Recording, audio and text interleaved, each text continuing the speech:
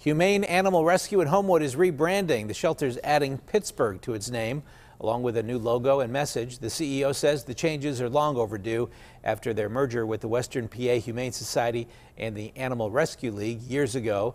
The new look is already on the van that they used to rescue 1,500 animals last year alone. The rebrand is the result of uh, us really looking at who we are and wanting to better represent that to the community. Dan Rossi says demand for adoptions is very high right now as families are spending more time at home.